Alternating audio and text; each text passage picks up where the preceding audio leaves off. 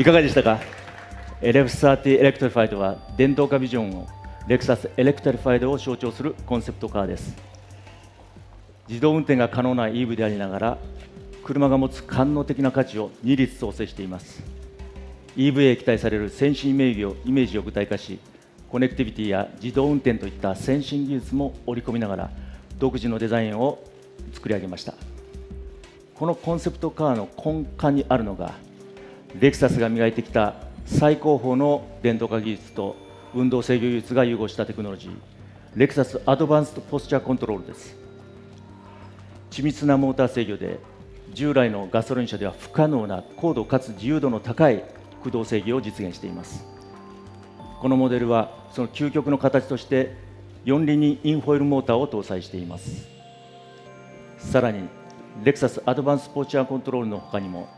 レクサス電動車の基盤となる技術が数多く採用されています。EV のみならずレクサスはさまざまな地域に最適な選択肢をご提供すべくハイブリッドプラグインハイブリッド EV、FCV など適材適所で開発を進めております。まずは中国や欧州などピュア EV へのニーズの高い地域に早急に商品を投入してまいります。具体的には2020年発売予定のレクサス EV モデルを来月発表します。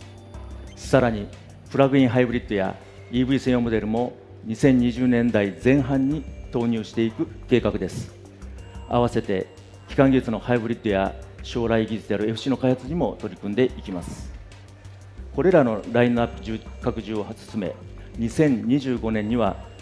全車種に電動車を設定する計画です。30年という節目を迎え我々は電動化を加速させながらより豊かなライフスタイルをお客様に提供してまいります。どうぞこれからのレクサスにご期待ください。ありがとうございました。